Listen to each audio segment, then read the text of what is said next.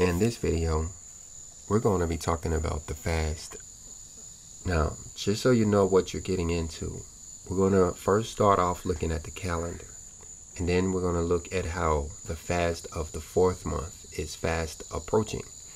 We're going to jump over in Second Kings, uh, taking a look at the origins of the fast of the fourth month, why there is such a thing. Then, Abba Welling, we're going to look over in the book of Zechariah and look at the prophecy of the blessings associated with the fast. There are actually four of them, and this is valid for really all four fasts. So if you're looking at this in one of the other months, it should be good. We'll briefly look at Isaiah chapter 58, discussing how exactly it is that we are supposed to fast. And guys, um, you're going to be surprised, especially those who are new to this channel, as to um, what fasting is. And let me tell you now, unless you're on some fast like the Messiah or Moses did when they went up the mountain for 40 days, it really has nothing to do with food, at least your personal food. But we'll get into that. Like I said, Abba willing, um, we give him all praise and honor for uh, this knowledge as well as um, the ability to produce this class, everything. Um, if he allows us to, we're going to go over and look at how um, this is all related to what CERN is doing, actually. Um, starting back there on uh, the fifth day of the fourth month, that would have been July the 5th when they started their run. We'll, we'll briefly touch on that, but I really want to use it as a springboard as we get into Third Enoch this uh, book that I'm ordering here, we're going to look at how it actually ties into uh, the prophecy of Daniel. Uh, what these um, basically talking about the significance of the 1,335 days and the 1,290 days. There's a verse that talks about it, and we'll look at it before we look at um, the third testament of the Bible. Um, so we're going to look at Third Enoch and the Third Testament as we get ready to enter the third era, waiting for the third Elijah. Get it? Anyway, um, we're going to look at it as you know we talk about the um, Shekinah glory, as some call it, the uh, return of the dove, um, the uh, chariot swinging low. Um, it, this event, the Great Awakening, is what you hear me talk about it the most if you were to search uh, my channel or search Google or anywhere for Coach in the Fight Great Awakening. Um, I'm sure you'll hear a lot of videos that we've made on this event that we have coming up. So we'll round it off with this. But as you can tell, we got a lot to cover. So let's go ahead and get started. First of all, let me start off with a prayer. Our Father in heaven, hallowed be thy name. Father Abba, we come to you today, Lord, asking that you will open up all communication pathways that we may hear your word and let it impress on our hearts, giving us instruction, hope, and wisdom as we enter these last days. In your son's name we pray. Amen. And so be it. So when we come over to the scripture and we do a search for the fourth month, if putting it in quotation marks, we can see all of the times that the fourth month is listed. It's only six times, and they're really only pointing to the same date, except this Ezekiel 1 and 1. And we're going to get into it when we talk about uh, the Merkaba or the Great Awakening, uh, those four beasts. But the one here that I wanted to bring to your attention is Zechariah chapter 8 and verse 19 it's actually talking about uh, a particular event in the fourth month. It's talking about the fast of the fourth month. And let me go ahead and read it. It says, Thus saith the Lord of hosts, the fast of the fourth month, and the fast of the fifth month, and the fast of the seventh month, and the fast of the tenth month shall be to the house of Judah joy and gladness and cheerful feast. Therefore, love the truth and peace. And we're going to understand why it's so important to love the truth and peace when we uh, get down to the latter parts of this video. Um, it's going to kind of come back to haunt those that uh, don't, but or maybe ignorance is bliss, but we'll talk about that later. What I want to point out to you, particularly right here, is as it's mentioning these four fasts. The one you're probably familiar with is Atonement Day, and that is because it's supposed to be the date of the great Holocaust that's still yet to come. But notice here how it's saying how this will be a day of joy and gladness to the house of Judah. And we want to uh, remember that when we get into Daniel's blessing over there. I don't want to get ahead of myself. So let's just make mental notes that he told Judah. And you can find a video we did on who actually is Judah. You may be Judah and don't even know it. It says joy and gladness and cheerful feast. So we have this to yet look for. The fulfillment of these fast days bringing the children of Israel joy.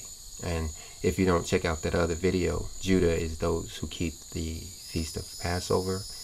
Um, that's how he gets his garments washed uh, in the blood is through the um, wine that represents the blood of our Messiah. Let's go on.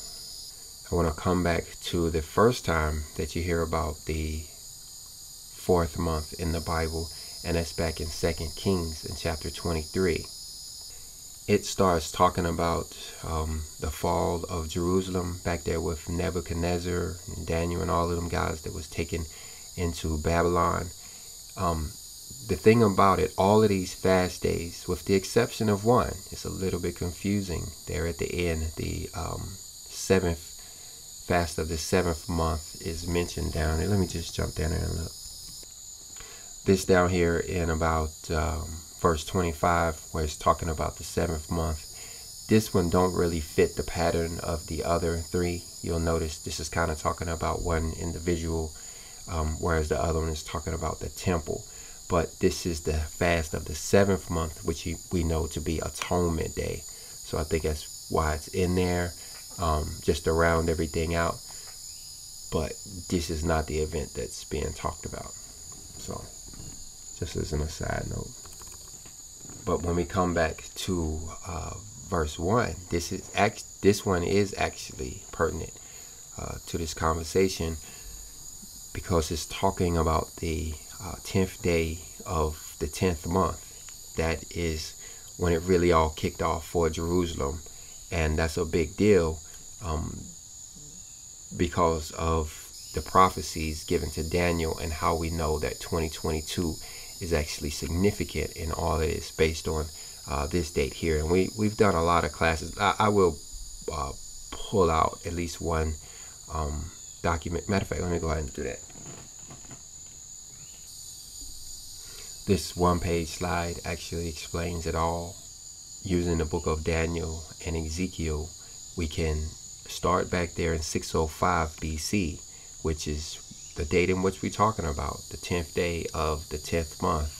Um, that what we saw in the first verse of uh, 2 Kings chapter 25, that was in 605 BC. And then we can go over to Ezekiel chapter 24 and verse 1 to make the connection um, that this is actually the 10th day of the uh, 10th month in 605. And using what Daniel told us down there in Daniel 12, we see that from that date that the daily sacrifice was taken away, there will be this 1,290 years.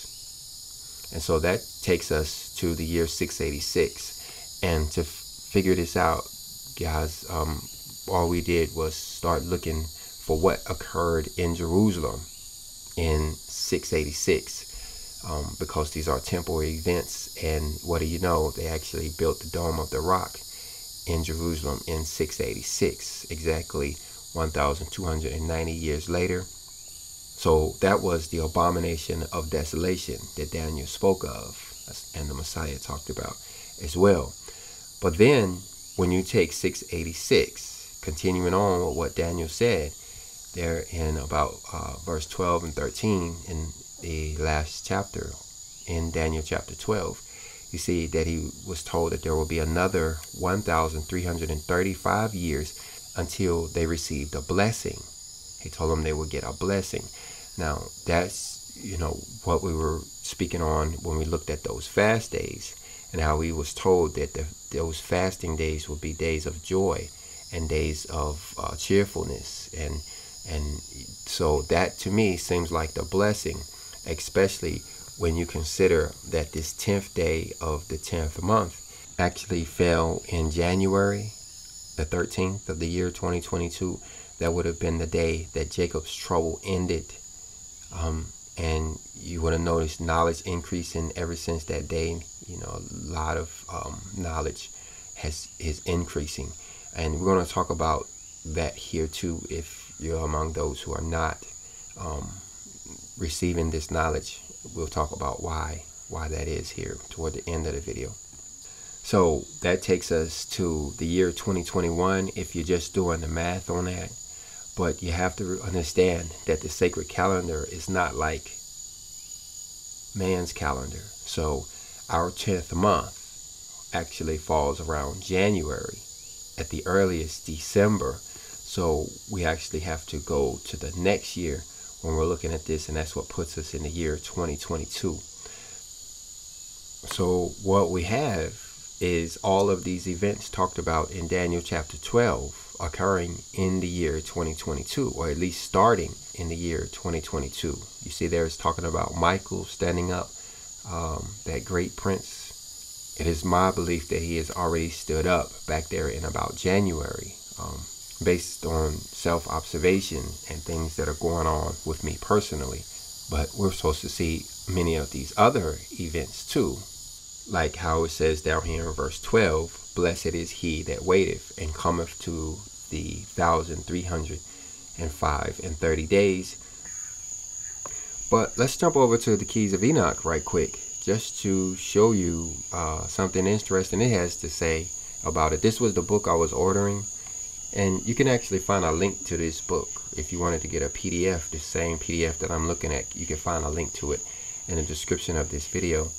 But I want to jump down to uh, key 108, where it's also talking about these 1,335 and these 1,290 days let me let me just read this first. It says the pyramid was built out of the magnetic flux line controls in relationship to a magnetic blueprint conceived in relationship to the belt of Kesil and the sacred numbers 1335 and 1290. The additional functions of magnetic displacement that takes place at the end of magnetic cycles. So one of you guys pointed this out, and you know they wanted me to expound on it. Um, this is third Enoch, guys. That's why I'm posting up these videos so you can hear this for yourself. Um, this this is this is a tough this is a tough book, and you know you may be able to expound on it, you know, as well as I can. I guess is what I'm saying. Um, I'll try in a future video, but I just wanted to show you this for now how this is actually talked about over in the third Enoch. Man. So that's what we're looking at is for this blessing starting in the year 2022, January 2022. But then we see the other fasting day, and that is started down here in uh, verse 2. And this is the part where Nebuchadnezzar's troops, his army, came and besieged the city. They um, basically surrounded the city and they starved them out. You see here that the people starved there for over a year or maybe even two years. They were being they was being starved out, and I think this is significant when we think how we have two years to go before the end of the Jubilee year. Um, but we'll get into that in, in another video what we see here in verse 3 is that this started on the ninth day of the fourth month. This is when the famine prevailed. So this is what we're fasting for. This is what the fast is, is all about. The fact that they did this. They starved these people out, you know, for all of this time, even to the point I think this is the time when the ladies were eating their babies and eating each other. Just like the scripture said, you know, would occur. Um, that that's how severe this famine was. And just to round this out before we go on, we come down to verse 8 to see about the fifth month. And it was in the fifth month that they actually burned the whole thing down. That's what they call the ninth of Av. So these are what these fastings are about. It's about the uh, temple. And this is important for us to make the connection that when we're talking about the temple, the third temple, we're actually talking about the same thing the Great Awakening, the hour of the conscious.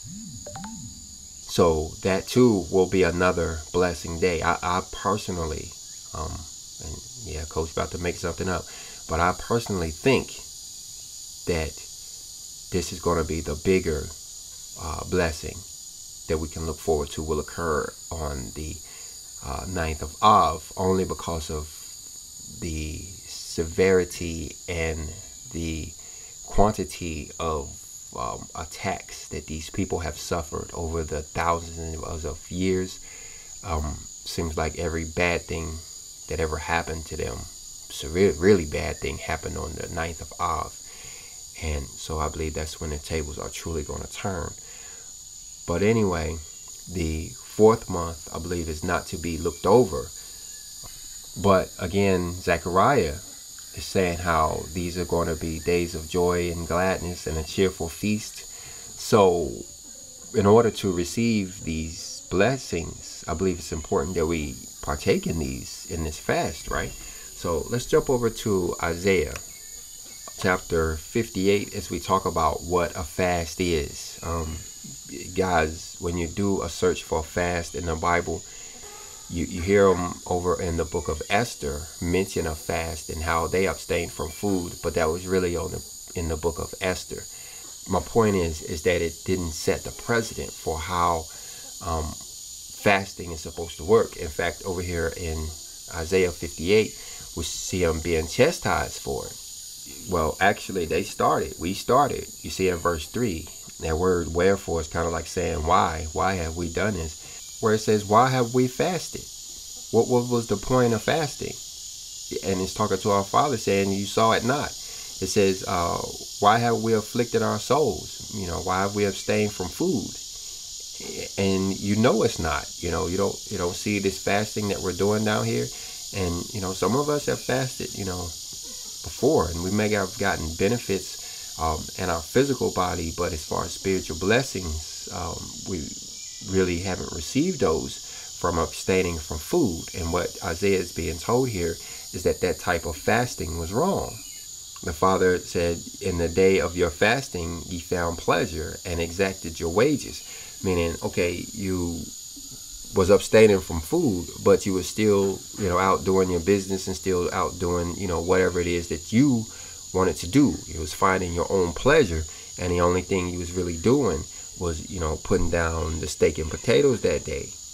Then the father goes on to say, Behold, ye fast for strife and debate, you know, so people sitting there arguing about whose fast was a better, cleaner fast. But you see right there in verse 4, it says that we're no longer going to fast like that anymore. It says, Ye shall not fast as you do this day, to make your voice to be heard on high.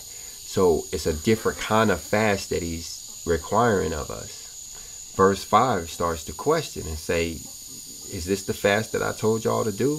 And like I said, we're not really told in the Bible about how to fast. If you want to understand the fast that the Messiah went through and Abraham went through and Moses went through and Daniel and all of those guys when they were fasting, you have to go to the book called the Apocalypse of Abraham and learn that what it, that food fast boils down to abstaining from cooked food and animal products.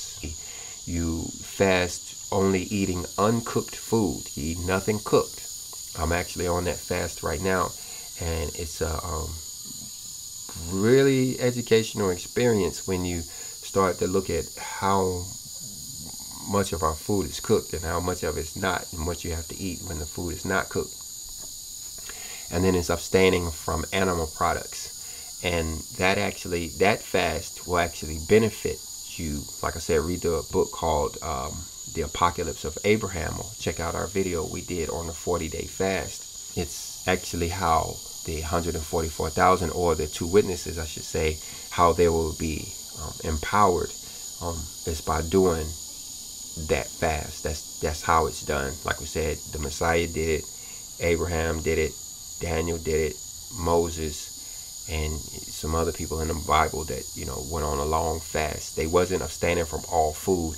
They was eating uh, food that wasn't cooked and no animal products. But anyway, that's not actually what we're talking about here. This is a different kind of fast that we're talking about here in Isaiah chapter 58 because not everybody is expected to go through um, that no cooked food fast. Like I said, it's, it's really not easy uh, to do that, um, especially when you consider third Enoch says don't eat any foods, um, basically any foods from the store. So that adds an extra level of difficulty there. And plus, it's impossible to get out a 40 day fast over the course of a one day fasting period. So, this type of fast that the Messiah is telling them to do here, he says, is to loose the bands of the wickedness, to loose the bands of wickedness, and to undo the heavy burdens, and to let the oppressed go free. Um, and that ye break every yoke. So what this is talking about is helping people, um, doing stuff for people. So the point is, is what he's saying is instead of abstaining from food, like I said, putting down the steak and potatoes, what he's saying here is to actually get up and go do something for somebody. And this can include praying for people. And I actually pray for my family as well. But this is actually talking about doing um, charitable deeds. What, what what this is going to happen when these when these fasting days are fulfilled is it's going to be um, days of trouble, days of turmoil, days of um, um, some bad stuff is going to happen.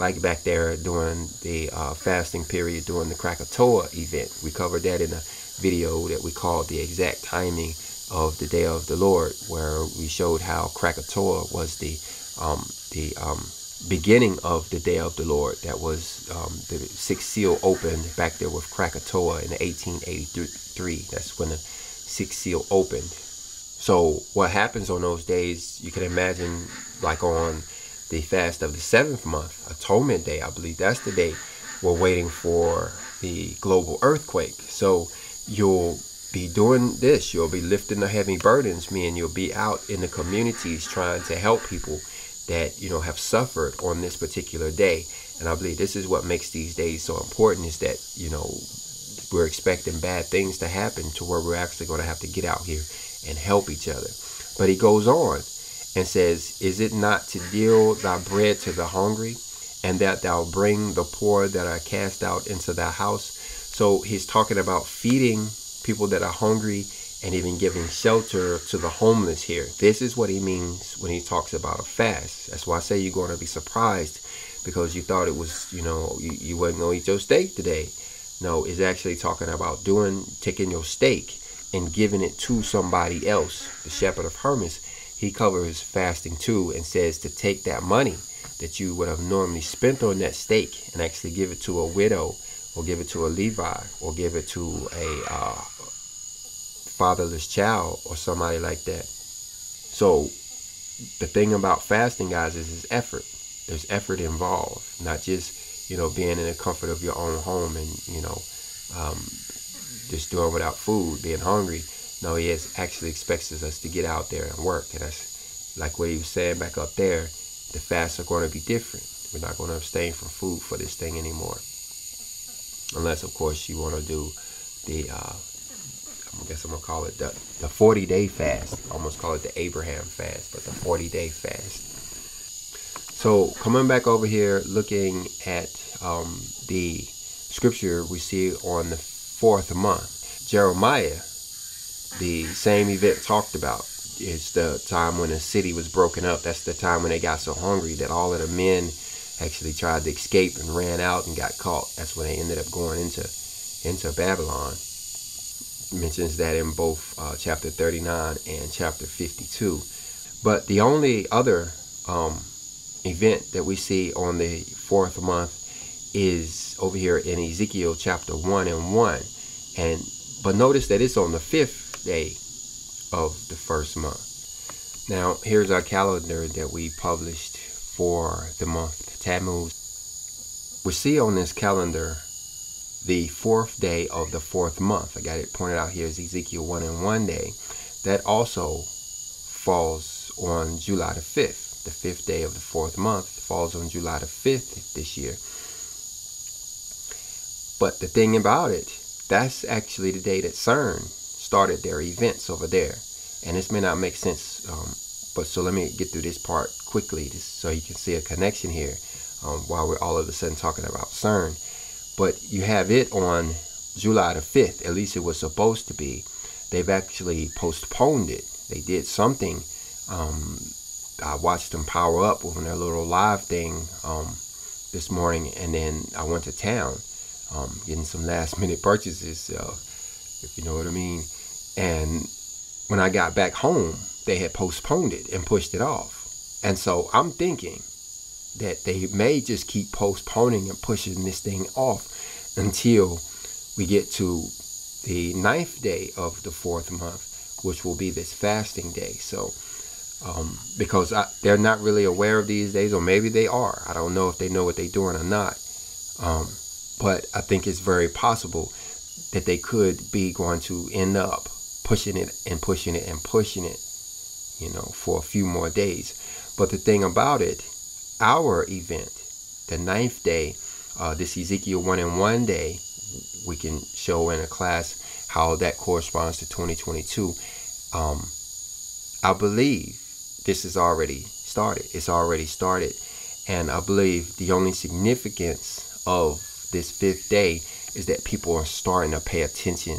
That's the day that Ezekiel saw the Merkaba. He saw the wheels within the wheels. He saw the um, four-faced beast in the whirlwinds of fire, you know. Um, but I believe that it's actually already ongoing, maybe even back to um, January of the year 2022. But I believe we're also being made aware of this is because of what CERN may be doing over here, getting closer to the fast of the fourth month. When, uh, like one of the viewers said, they had a dream that they opened up something and was trying desperately to get it back in the box or get it back into, you know, the thing that they opened and they was failing to do so. So I guess we'll wait to see. Let's let's go over there to Ezekiel you see there Ezekiel getting this word from the Lord. He said he saw a vision on this particular day. And then when you come down to verse 4, you can see what this vision was. It says, A whirlwind came out of the north, a great cloud, and a fire enfolding itself. So this is what they talk about, uh, the chariots of fire. And I found it interesting. One of the viewers pointed out how the guy who wrote that song, The Chariots of Fire, actually passed away in May, May 17th, would have, which would have been second Passover in the year 2022. You know, he thought that was significant. I definitely think it's significant too. Even the time in which he wrote that song was significant. And for him to pass away in the year 2022 in May, um, I believe it's one of the signs that our Father is trying to show us. But anyway, you see down there in verse 5 that is talking about uh, the likeness of these living creatures and how they had these four faces and these four wings. You see down here in verse 10, he describes these faces. He said one had the face of a man, one had the face of a lion, one had the face of an ox, and one had the face of an eagle. Now, I put up a clip. Um, if you guys are subscribed to my channel, I would suggest you do so um, and have that bell notification button pushed because I do a lot of stuff through the posts, the community posts, uh, little short bursts of information. I'll slap a post up in a minute, even before I finish spell checking it, um, if I think it's important. And the Father puts it on my heart to, to do so. Um, but I put up a post on the iPad Goat uh, video not too long ago. Somebody's like, well, that's not too important. Well, it could be when you look at that little short clip I put up and how it shows how there's a connection between what CERN is doing and what they intend to do. Um, in one part, you see this guy with this um, tiger tail, whatever. He's dancing around this fire, uh, doing the old CERN dance, and then all of a sudden, um, his chest starts to become enlightened, and his face starts going through these cycles here. But before I go on, I need to show you down here in verse 16 how he's talking about this wheel within the wheel, or it says a wheel in the middle of a wheel. That's actually what is called the uh, Merkaba. It's kind of like what we would call a spaceship if we ever got to lay our eyes on it. I'm not sure that's going to be the case, but that what they're seeing. Um, somebody just pointed out in San Diego, they may have saw this Merkaba in the sky. Uh, you could search for that. Three lights in the sky in San Diego. So, like I said, this is already starting. It's just that, you know, we are starting to become aware of it. I know I am here late, here in the fourth month. Let's go back to the keys of Enoch and let's look down in key 205. Um, because it starts talking about this prophecy that Ezekiel saw here. See right here is calling it a vehicle. Over there it said it was a wheel within a wheel. And in other places you hear it called a Merkaba. Looking down here in verse 67, it starts to telling us, you know, about these four-faced beasts and explains what the faces mean. Right there, it says um, the face of the bull, as it is seen in the scriptures of Yehezkel, represents Taurus or Kesil, which we like to use the Hebrew name. It says, which in ancient astronomy gives the origin of the Merkaba vehicle as coming from Kesil. What it's saying is the reason why one of the faces is that of a bull is because that which is coming through this vehicle is originated from that star constellation. That's why the pyramids point to that particular star constellation. And then it says the lion face shows the probe of our sun system by the Merkaba vehicle in a higher evolutionary astronomy. The lion solar face represents the population one system on the edge of a greater central sun. So what it boils down to is the pyramid is like the clock. That's the earth's clock. That's how the the the earth tells time and know when it's time for us to um, elevate, so to speak. And that sphinx out of it out there is part of it too. This lion face that is actually pointing eastward. So it's facing the rising sun. And so you can start to see the relationship between the timepiece that you hear about in verse 67 where it's talking about a Kesil and that particular star constellation.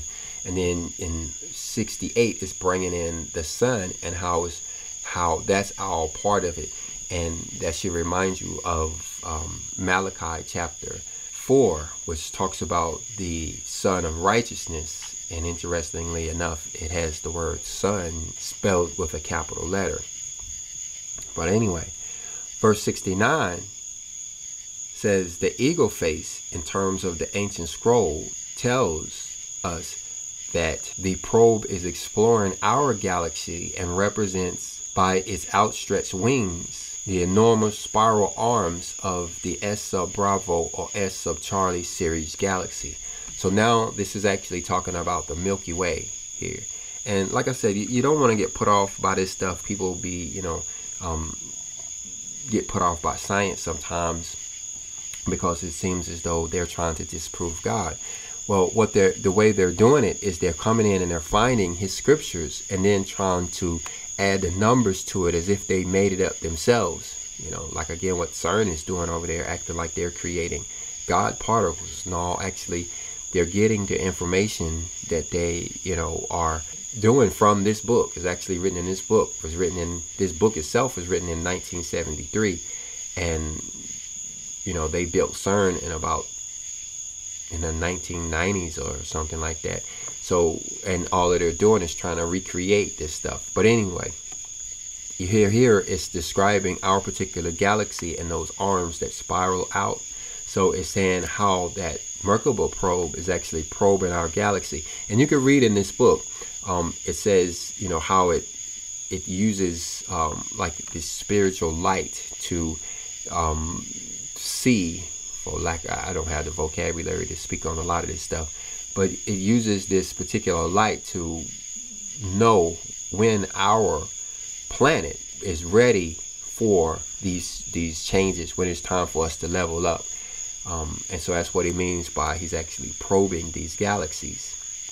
And then the last one says another face will have the appearance of a man but does not constitute the substance of an earthling. The face in the likeness of a man shows the overlap carried from higher evolutionary creation to the human evolutionary creation.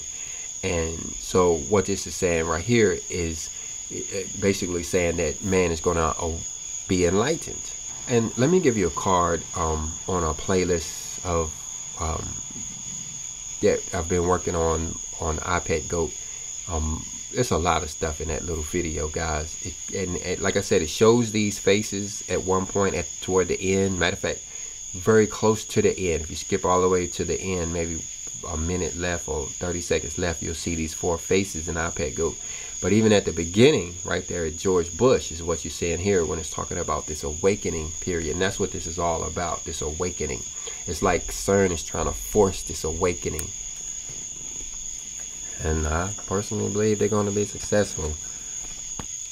But guys, don't be don't be worried. Let me sure a lot of this stuff seems um, extraterrestrial, for lack of a better word.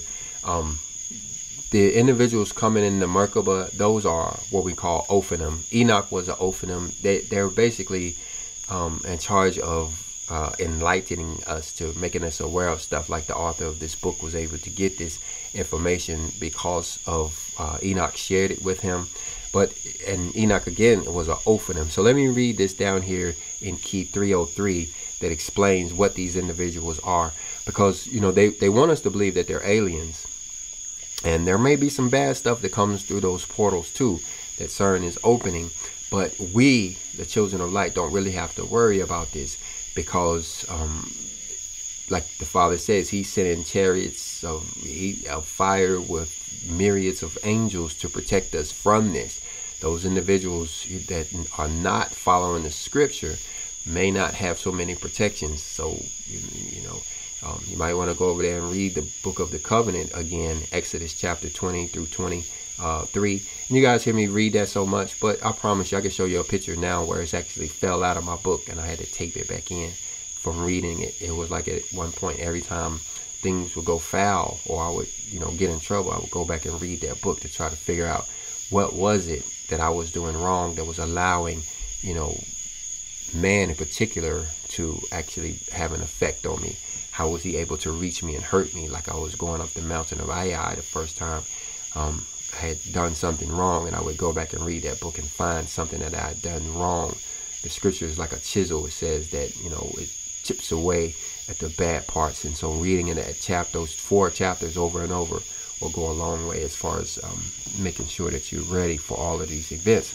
But anyway, let, let me just read what the Ophanim are. It says, The Ophanim are the messengers of light from the higher heavens of the Father, uniquely placed at the crossroads of space as the network for governing and implanting new realizations.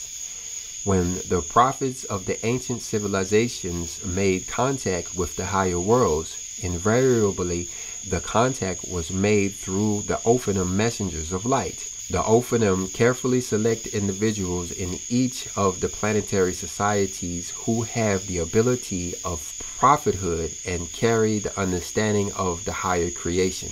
So everybody who has ever talked to anybody in the Bible has came in contact with these same individuals that they're now calling aliens and trying to scare us away from um, these Ophanim, these Enoch type spirits. And then, like I said, it may be some bad, probably going to be some bad stuff to come through there too. That's what they're doing. Um, these Ophanim will be coming from the light, but they are particularly, talking about CERN, is particularly interested in the dark, that dark matter. This book actually explains what dark matter is too.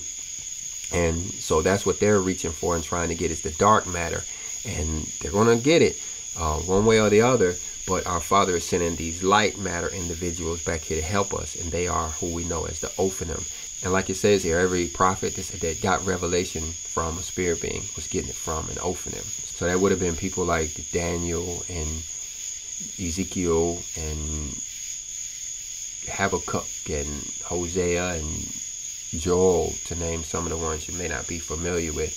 Amos too. Go go read Amos, the book called Amos. That's a that's a good book to understand the tribulation and why it is necessary that you know a lot of these bad things you know happen. But anyway, let me go to one last place in the Keys of Enoch, and then we're going to get out of this book. And that's going to be coming out of um, the last chapter in the book. And I did a reading of this. I read this chapter. Um, you guys, it has a lot of mistakes in it, but you can. Um, I'll give you a, a card up top so you can hear that after you you know listen to this one. Um, try to finish this video to the end, please. Um, we're looking over here in verse 66 and 67 of key 319 where it's talking about how people will see these signs in the heavens. Some are actually going to see these lights like they did back there in san diego. But notice right there also it says that many will look and cannot see. So all of those mockers and scoffers down in the comment section would fall into this group. They they kind of want to see and they or they at least you know looked and tried to see and they were unable to. And you see why here, right there in verse 67. It says, Furthermore, those who are not using the gifts of the Holy Spirit will have their minds blanked after a Merkaba experience. So while all of this is going on and you have individuals who are rising to the light, who are uh, elevating, so to speak, who are coming in contact with these Ophanim and getting this higher intelligence, you know, that's, that's kind of you know, where I would have got the idea of building a clock from now that I think about it would have been from one of these Ophanim. Um, the individuals that is not willing to operate in the Holy Spirit, it says here, they're going to get their minds blanked, meaning that they're they're not going to see what's going on. It reminds me of that Men in Black um, thing where the person is his memory of it. So they see the Merkaba, and their memory just goes away, and they don't even remember that they ever saw anything whatsoever. It says this is done lest the physical mind be overloaded by the consciousness transference of data from the higher intelligence, meaning that it would drive them crazy if they saw this thing. First of all, they're going to think it's a spaceship and aliens is coming to take them over, you know, and so to prevent that, their minds are blanked. But this is actually talked about in the Third Testament too. Let's go over there and look at that.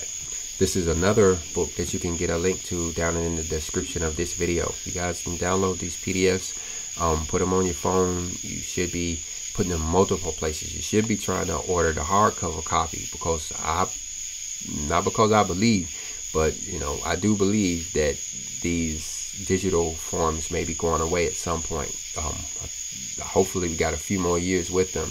But when the global earthquake occurs, it's not quite sure how they're going to keep the internet going after that event wipes out everything.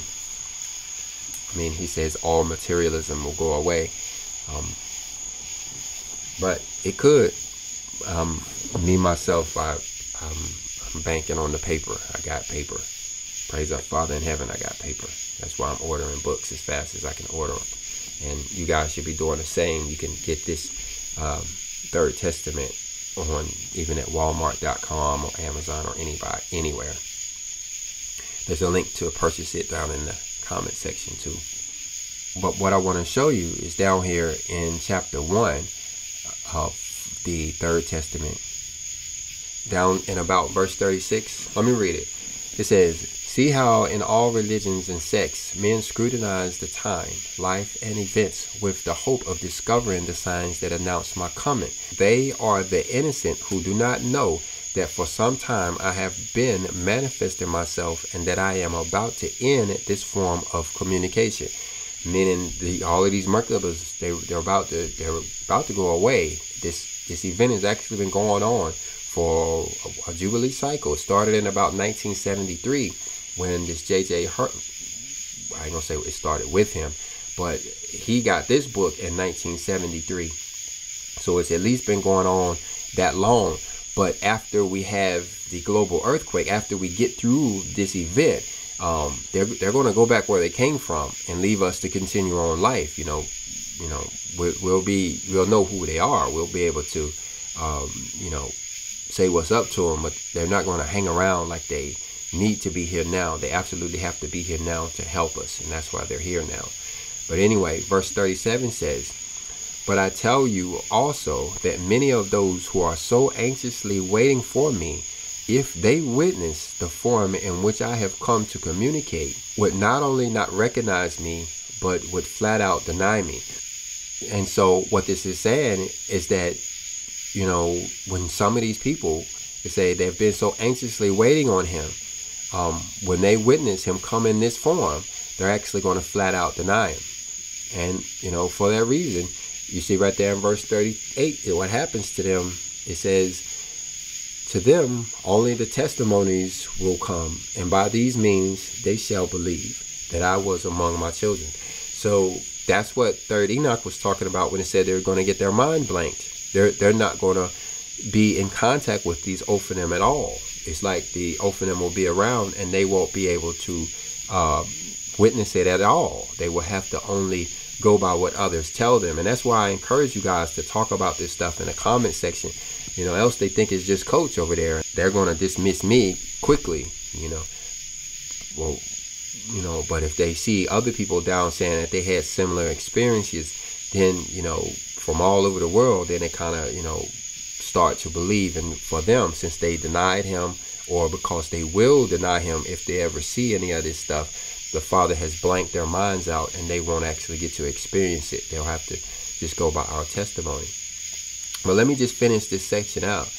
It says, You also awaited for me intimately with impatience, but I knew that you would recognize me and that you would be my laborers in this era. Talking about you guys who um, are, if you've made it this far in this video, that you who are you talking to, you need to go ahead and subscribe and um, and hit that bell notification button. And yeah, you'll notice I'm, I did say need instead of should, and I didn't catch myself because we're getting at this time where they're trying to withhold information from you.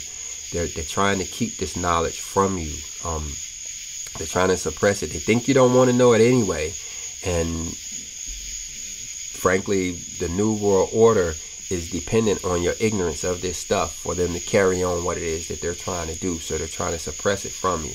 And but if you have that bell notification button pushed, it will at least be down there somewhere that you can find it when you decided to come look for it. You know, so make sure you have those buttons pushed. But anyway, he says that he knew. He says that you too were awaiting, not just not only like the other guys. You know, the other guys were waiting too it's just they, they thought that he was coming in a different way. They thought that, you know, that things were going to go differently for them. But us, I'm going to include myself in this, he knew that we would recognize him. So when we started hearing this keys of Enoch and third Enoch, um, he knew that this stuff would make sense to us and we'll be able to gather this knowledge and move on into uh, the spiritual evolution, even being able to teach the others. That's what 144,000. That's why there are only 144,000 of them because they actually are able to get and gather this information. And you, you may have picked up on that, that, you know, if you can gather and get this information, you may be one of the 144,000 or you may be a family member or something like that. But don't don't tell anybody that you are.